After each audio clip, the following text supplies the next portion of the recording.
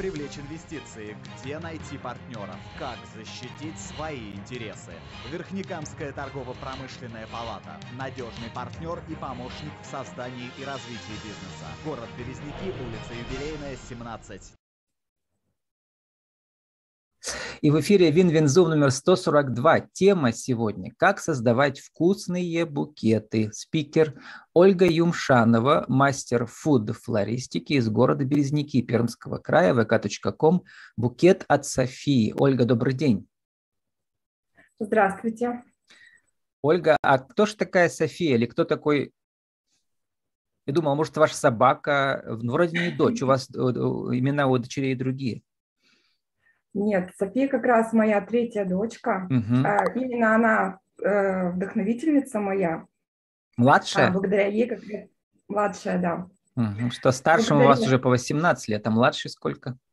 Младший 4 года, пятый год. Как она вас вдохновила на букеты, причем съедобные? А, когда я была в декрете, это время, которое День сурка называется. Угу. Вот чтобы что-то изменить, мне захотелось, то есть, ну, во-первых, мне захотелось какой-то дополнительный доход получать, во-вторых, а, делать что-то творческое своими руками. Я очень долго думала, что, чем бы мне хотелось заниматься. Вот. Причем дома?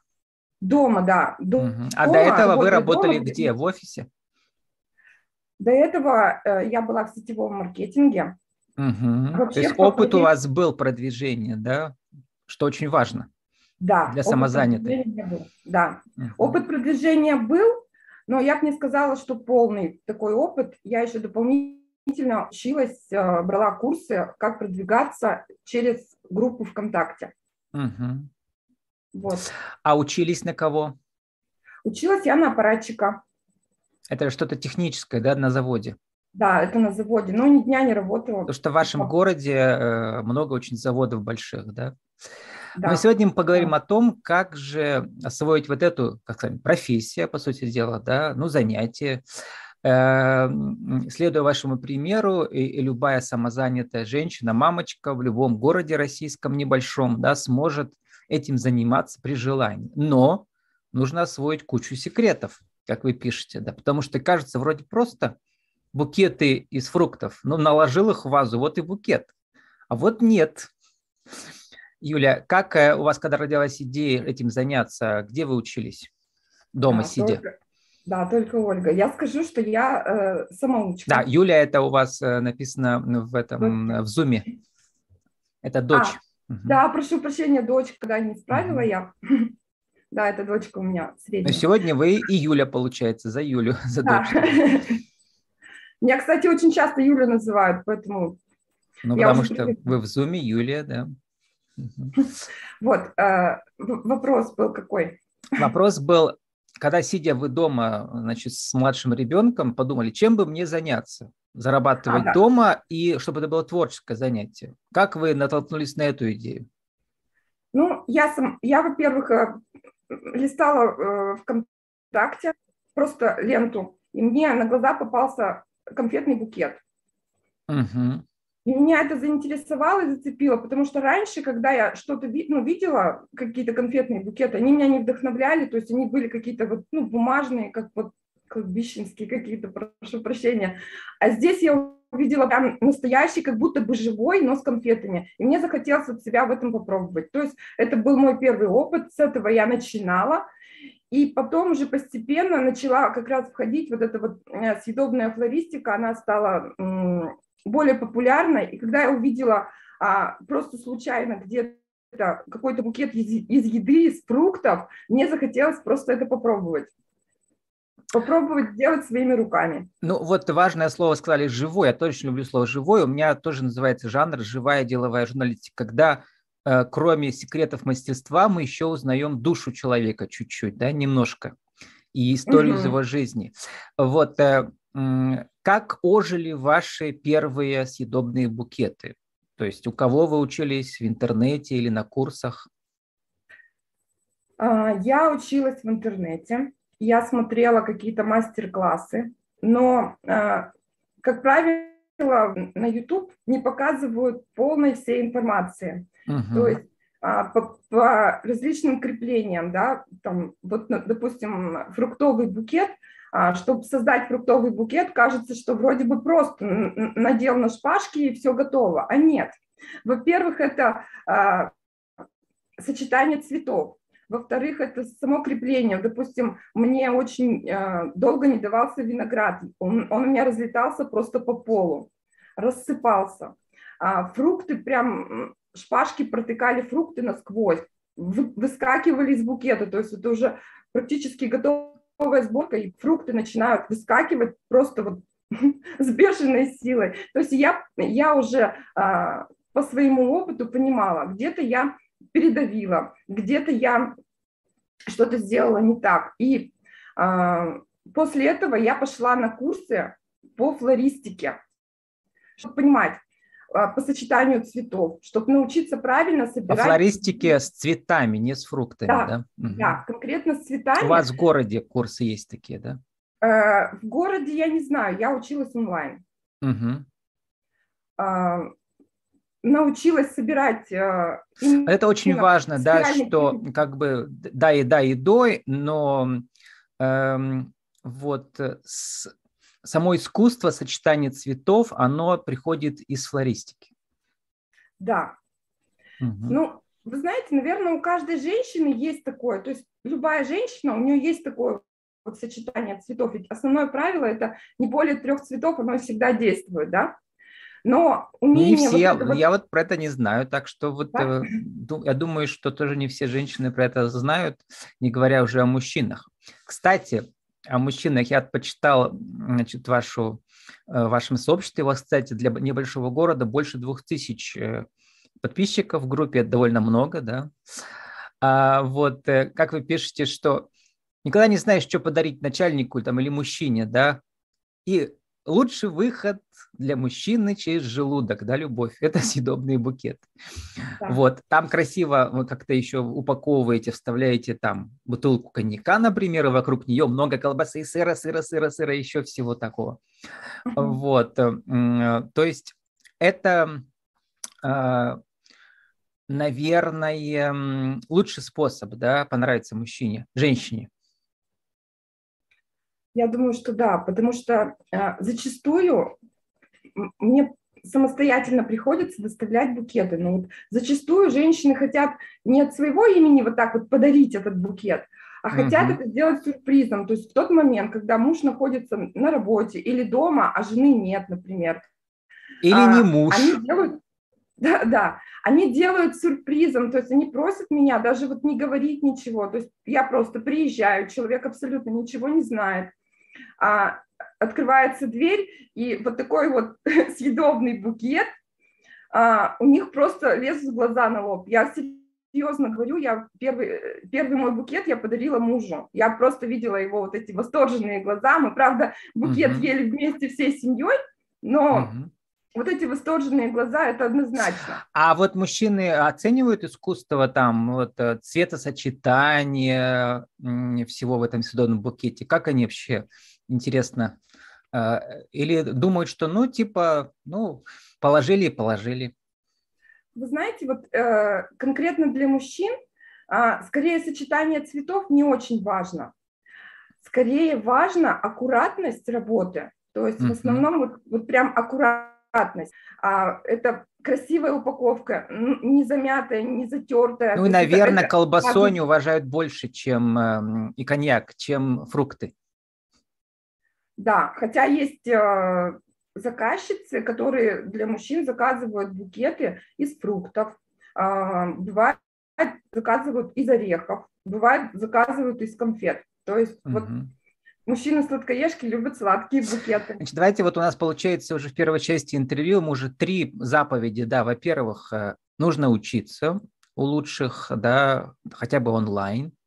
Во-вторых, иметь опыт в продвижении. У вас опыт был из э, э, вот этих, э, как это называть, как называть, э, работы в сетевых компаниях, да, сетевой маркетинг. Вот. А если его нет, то нужно где-то учиться все равно, да. И в-третьих, да. А, вот э, благодаря этому опыту создавать свое сообщество в соцсетях, у вас ВКонтакте. Причем вы используете специальные техники. Ну, например, проводите конкурсы. Расскажите, эм, как конкурсы приводят новых подписчиков или заказчиков? Во-первых, продвижение, оно всегда важно. То есть да, не, не так, как конкурс, да, конкурс он всегда продвигает, это это сто процентов, я поняла. А, добавляются новые люди, новые люди узнают, видят. А, многие к конкурсам относятся скептически, потому что, ну, говорят, что халявщики приходят различные. Э, ну, без этого никак. Это, uh-huh. это бывает. Но а, основная идея конкурса в том, чтобы привлечь новых людей. Конкурсы я достаточно часто провожу в группе, и вот сейчас... Они привлекаются за счет чего? Там вот нужно в комментариях писать разные версии ответов или э, обязательно перепосты, стать членом группы, что еще там? Вот э, как по правилам контакта сейчас репосты э, не очень работают. Сейчас uh-huh. работают э, лайки и комментарии. Поэтому э, у меня конкретно в группе стоит запрос на, на конкурсе, чтобы основные два условия. Первое – это вступление в группу, угу. а второе – это оставить комментарий. Человек оставляет комментарий, и а, уже а, его друзья видят вот эту запись. Кто-то из их друзей сделает заказ, кто-то э, также поучаствует в конкурсе, и уже информация распространится дальше. То есть вот угу. ВКонтакте конкретно идея работает вот так. А вот э, таргетинговую рекламу платную ВКонтакте вы размещаете или, или уже сейчас пока не нужно, уже все работает так? Я, вы знаете, вот сейчас э, со, все, со всеми изменениями, во-первых, эта э, реклама, она очень стала дорогой. Угу. А, а во-вторых, я, я когда-то размещала, да, это, конечно, работает, но меня устраивает то, что происходит сейчас. Угу. Есть какие-то нетрадиционные, нестандартные способы э, продвижения, которые вы сами придумали? Ну, что-то вот э, у других вы это не встречали, а у вас вдруг заработало? Так, ну у меня, я не знаю, как друг, другие, как работают. Угу. Я использую все возможные площадки. Я использую Авито, использую Юлу, ВКонтакте, вот Инстаграм у меня работал до последнего дня, пока uh-huh. была возможность. Потом что еще? Ну, основное, я бы сказала, это все-таки остается сарафанное радио, это люди, которые заказывают, клиенты, они потом рекомендуют. То есть это основное. Вот. Ну, опять же, конкурсы. И, наверное, способ, который использую я, это продвижение через э, людей, скажем, э, такая хитрость реклама. Э, я дарю букет для человека, и он потом просто в соцсетях рассказывает о том, что вот мне подарили букет, показывает его, и от угу. него уже люди обращаются. А ну, вы дарите букет, это какие-то лидеры общественного мнения в вашем городе, да, им или как? А, не обязательно, это могут быть мои, под, мои подруги, мои друзья, а, угу. роста родственники, то есть это даже совершенно не важно. Угу. Ну вот э, я почитал интересные, кому интересно, зайдите тоже к вам, будет указано в описании подкаста ссылка на ваше сообщество. А, и вы анонсируете один из ваших мастер-классов, который у вас периодически проходит, и там много вот таких вот заповедей, да, ну, например, то, что мы с вами еще сейчас не успели проговорить, э, э, это про спиральную технику, это основа основ, да, вот получается все в виде такой спирали, да, всегда букет. Крепление мы сказали, эстетичность, элегантность упаковки мы сказали, как крепить мягкие фрукты, вы тоже про это говорили, техника фрукты без прокола, вот это что? То есть как закрепить, не прокалывая их? Да, то есть немного, вот конкретно по фруктам а, многие а, хотят, чтобы фрукты не были проколоты. Допустим, один из последних случаев, когда меня чтобы они дольше хранились, наверное, да, чтобы ничего не Да, вытекло. они, во-первых, дольше хранятся, потому что они остаются целыми. А вот, э, ну, на примере случая, когда мне попросили букет из перцев сделать, для того, чтобы а, в дальнейшем этот человек, которому подарили, он а, вот эти перчики, семена оставил на посадку.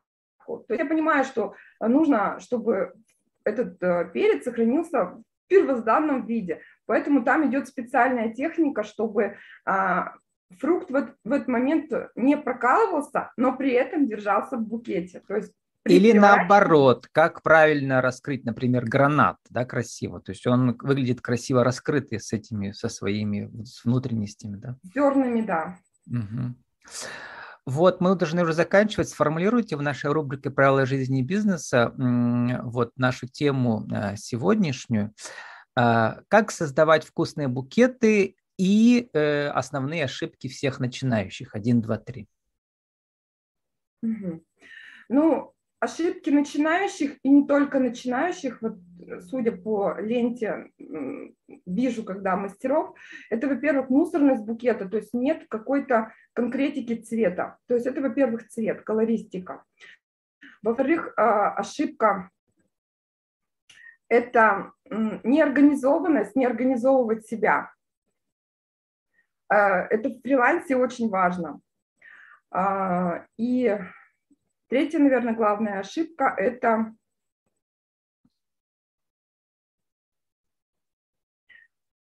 самое важное – несоблюдение, наверное, каких-то санитарных норм. В фуд-флористике это очень важно. Да, каждый пункт можно расшифровывать. Про второе интересно, что там не организовано, что имеется в виду? Вот во фрилансе очень важно, я, я по своему опыту поняла, что очень важно научиться себя организовывать. То есть, а, допустим, в день я могу делать 4 а, букета, больше я сделать не могу, по причине... Но это зависит могу... ведь все еще от заказов. Может, о них может быть много, а может быть ни одного. Как организовать? Да, да. Ну, во-первых, нужно научиться организовать это так продажи, чтобы они были э, 4, 4 или 3 в день. Но и у меня бывает не всегда, допустим, а, полная занятость дня, но в это время я занимаю себя тем, что я делаю заготовки для букетов, например, основы, uh-huh. или я делаю какие-то букеты, которых э, срок годности достаточно долгий. Они могут храниться, например, конфетные букеты, э, букеты из сухофруктов, то есть ореховые uh-huh. букеты. Ну и потом найти время для доставки. Ну, для, в небольшом городе это нормально, вы сами можете доставлять, да, в большом mm-hmm. это много времени уходит.